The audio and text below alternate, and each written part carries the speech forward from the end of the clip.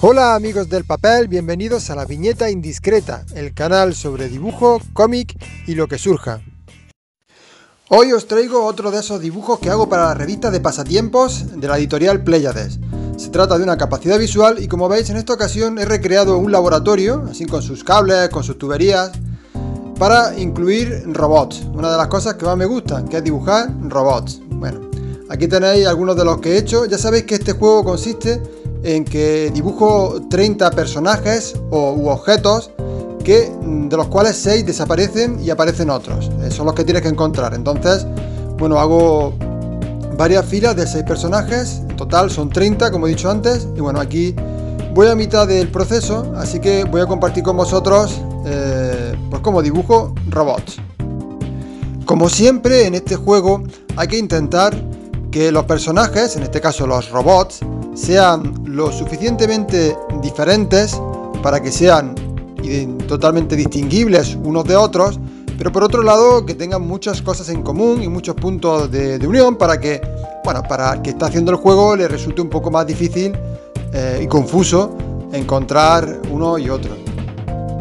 De esta forma, este juego, lo que más, la complicación mayor que tiene este, este juego para mí, eh, consiste en el diseño de los personajes. Cuando son personas, pues bueno, a lo mejor le vas poniendo unas gafas, al otro le pones un bigote, sombrero, no sé qué elementos que lo diferencien, porque bueno, a lo mejor físicamente los dibujos son muy pequeños, tampoco se puede hacer mucho detalle, con lo cual muchas veces tienes que recurrir a esos elementos.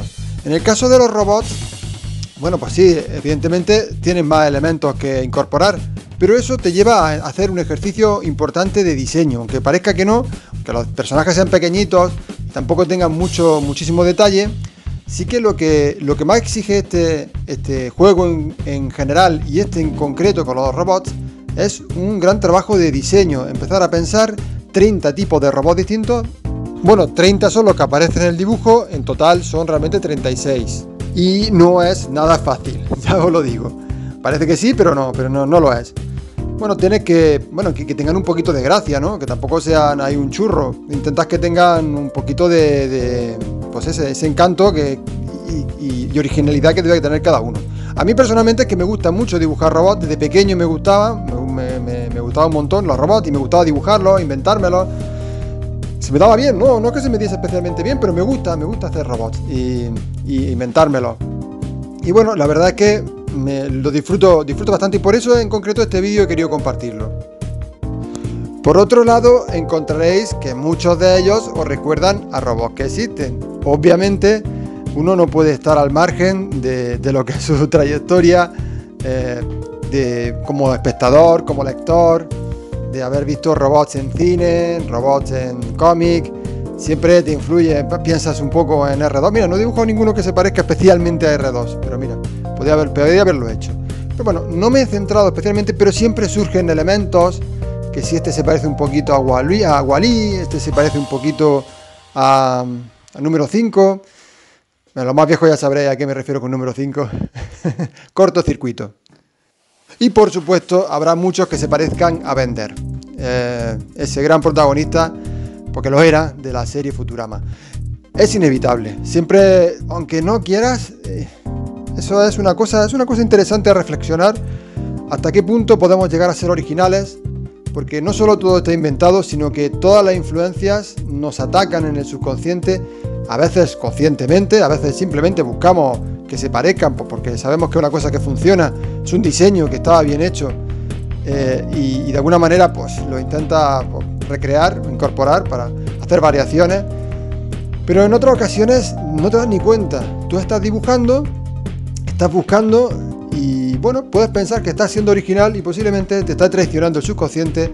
Eso que estás haciendo ya lo, hiciste en alguna ocasión. O sea, ya, ya alguien lo hizo en alguna ocasión y tú simplemente lo recuerdas aunque no lo sepas conscientemente.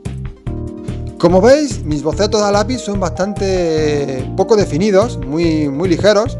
Bueno, yo sobre eso ya voy dibujando. En este caso los robots que tienen una forma bastante geométrica, generalmente cubos y demás, se prestan mucho a tampoco ser excesivamente pulcro definiéndolo.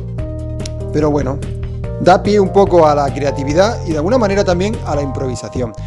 Bueno, pues este es el trabajo terminado con los 36 robots distintos y bueno, con la plantilla sobre la que lo iremos ahora incorporando. Yo creo que han quedado bastante chulos, me gustan, no puedo tampoco recrearme mucho, ya veis que es un pequeño, no es que vayas a crear un personaje que vaya a utilizar durante un cómic de 60 páginas, va a aparecer aquí y ya está.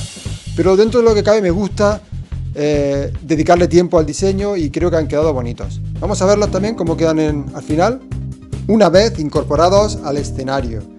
Quedan muy lioso, pero bueno, tiene que ser así porque es el objetivo del juego. Y hasta aquí hemos llegado. Espero que haya gustado, que es así, como siempre, le dais un like, os suscribís, se lo recomendáis al amigo. De verdad, pásate a ver el, canal de este tío que hace cosas muy bonitas, muy chulas.